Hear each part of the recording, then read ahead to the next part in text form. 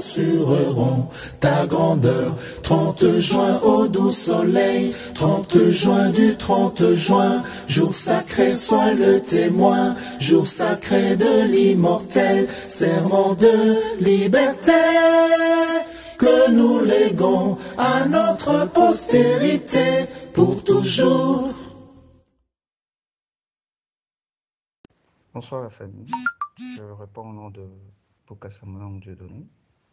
Euh, je suis euh, congolais de mon état, assistant euh, à la faculté de droit de l'université de Kinshasa. Présentement, je suis en Chine pour deux raisons d'études. Cette année, je fais la langue en attendant que je puisse débuter avec mon major. Bon, voilà. Présentement, nous allons, avec l'autorisation bien évidemment de, de membres de la conférence, nous allons parler sur euh, la recrudescence de la pauvreté dans le pays euh, en voie de développement, cas de la RDC, études critiques et perspectives d'avenir. Voilà. Le sujet que j'ai le réel plaisir de vous exposer ce soir porte sur la recrudescence de la pauvreté dans le pays en voie de développement, cas de la RDC, études critiques et perspectives d'avenir.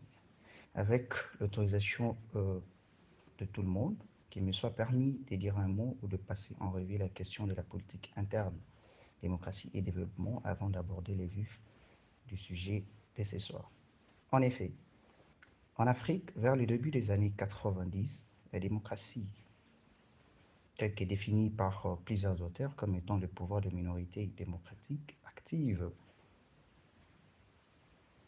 signifiant le recrutement de ces minorités doit être ouvert, quel que soit qu'elles doivent entrer en concurrence en respectant les règles du système multipartiste. En d'autres termes, la démocratie, la démocratie, au regard des théories élitistes, est comme le pouvoir de minorité démocratique active.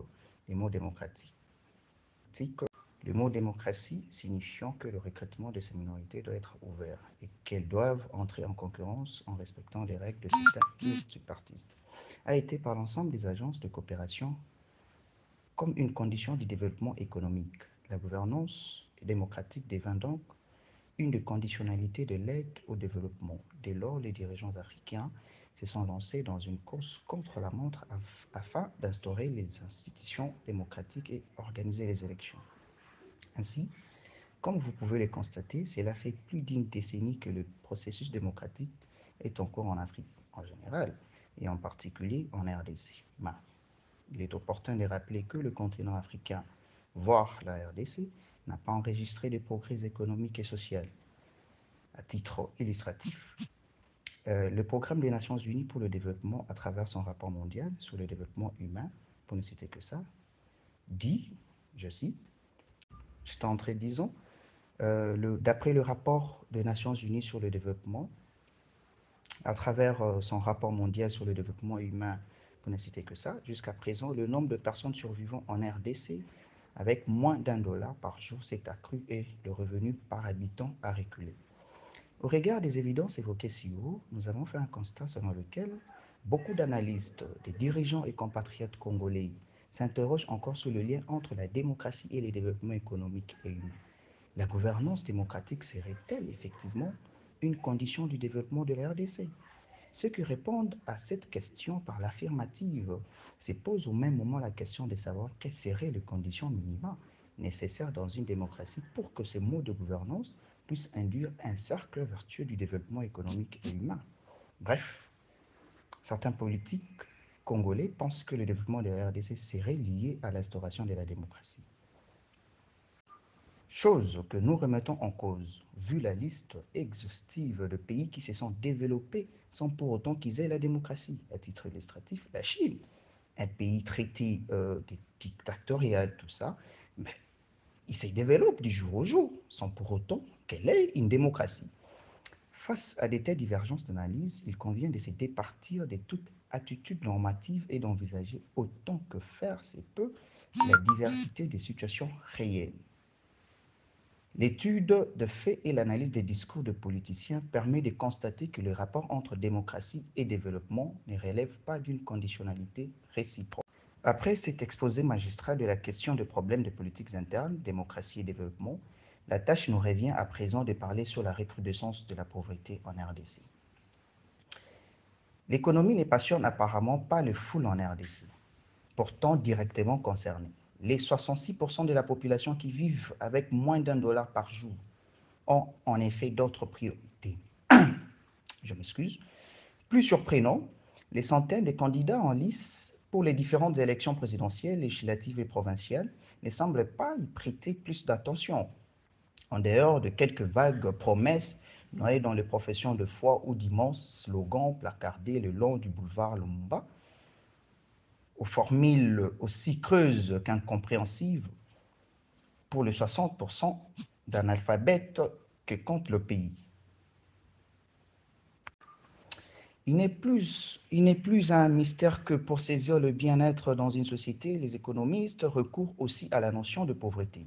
Qu'elle frappe une communauté globalement prospère ou pas, la pauvreté est un flot qu'il faut combattre et éradiquer, car elle menace les aspects les plus essentiels de la vie humaine, notamment valeurs morales, dignité humaine.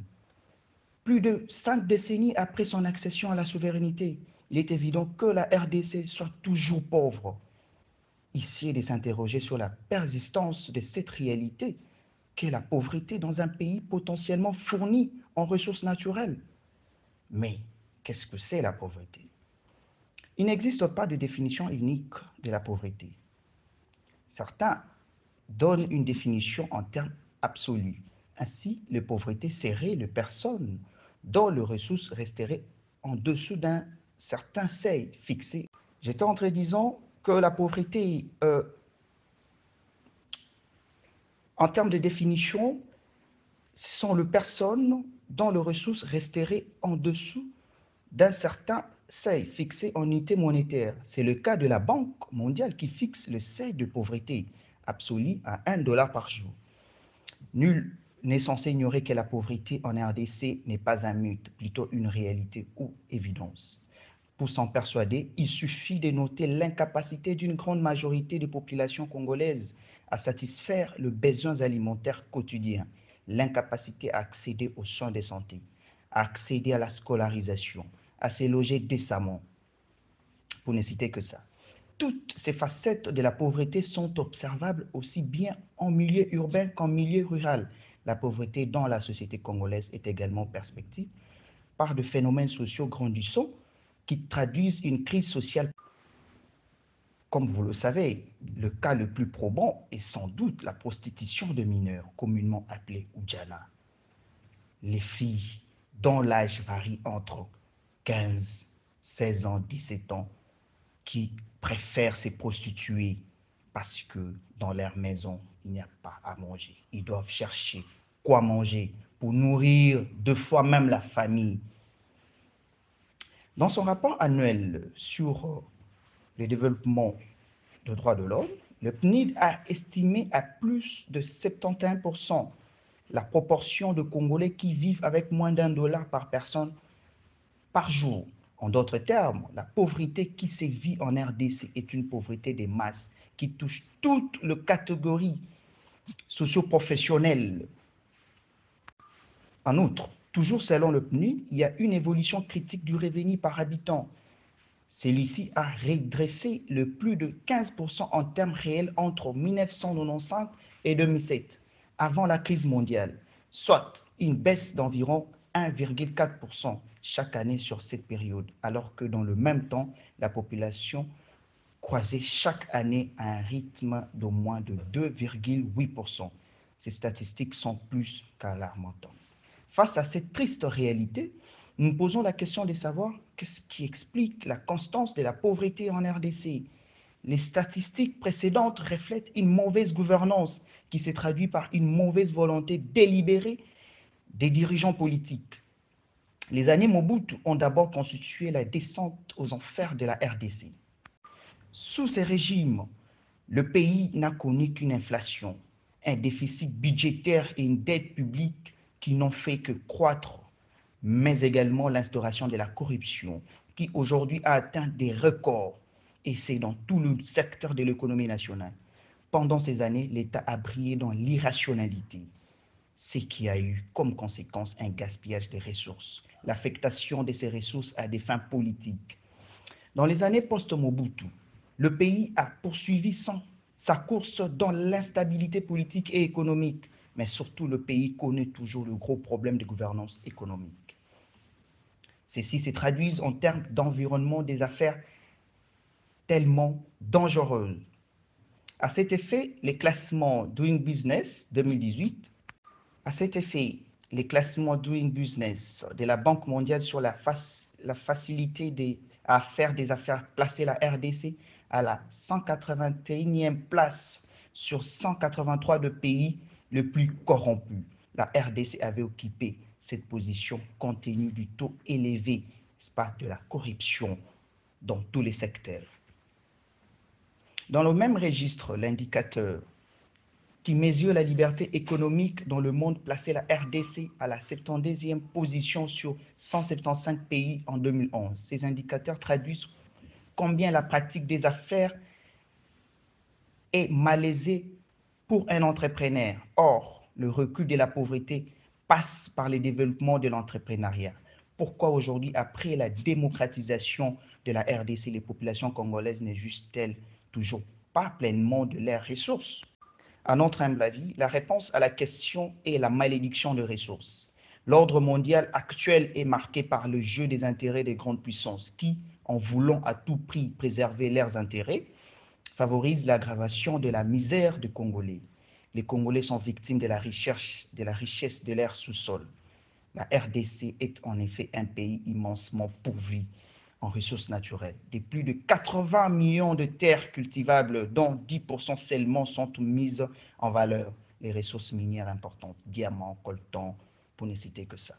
Deuxième poumon vert de la planète après l'Amazonie. Deuxième réserve d'eau douce mondiale. Ajoutons que le pays dispose d'un important potentiel hydroélectrique, soit 53% en Afrique et 13,5% au monde. Malheureusement, la population de la RDC ne bénéficie pas de toutes ces richesses. Son économie est handicapée par des conflits armés incessants et un des niveaux de corruption le plus élevé de la planète, en croire Transparency International, qui, pour l'année 2017, plaçait la RDC à la sixième place de pays africains le plus corrompus. Dans ces cadres, la réussite dans les affaires dépend de relations étroites entre le business et le pouvoir favoritisme dans la distribution des autorisations légales, subventions gouvernementales, allègements fiscaux. C'est un véritable capitalisme des copinages pour de proches du pouvoir. En dehors de l'état de droit, ce système a empêché l'accès d'un grand nombre au secteur formel. Une part importante de la population active a ainsi été forcée de s'orienter vers l'informel. Le PIB ou le BIT estime à plus de 72% de la population active congolaise évoluant dans les secteurs informels, à tel point qu'il est devenu le secteur dominant en matière de création d'emplois dans le pays. Mais dans l'informel, le développement économique est très fortement contraint.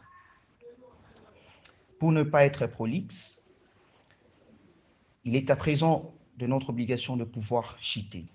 À l'issue de cette tentative d'actualisation de rapport entre démocratie et développement, thème qui demeure un classique des études de développement, force est de constater l'impossibilité de notre position de façon claire sur la prééminence d'un de deux termes de la relation.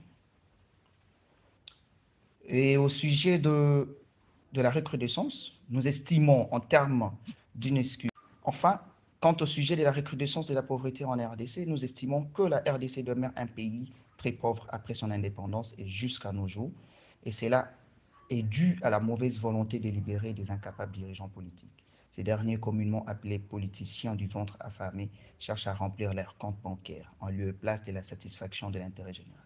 En d'autres termes, ce sont eux qui constituent la crise du service public congolais avec comme conséquences négatives la dépravation de mers, l'accroissement du taux de la décadence de l'enseignement à tous les niveaux. Bref, l'État congolais devra promouvoir la bonne gouvernance et l'État des droits en éliminant tous les niveaux, à tous les niveaux du secteur public, toute forme de corruption, clientélisme, afin de sortir le Congolais de cette réalité déplorable qu'est la pauvreté. Voilà, à présent, je me remets à votre disposition pour des éventuelles questions. Je tiens à remercier tout le monde pour l'attention particulière que vous avez apprêtée pour mon exposé.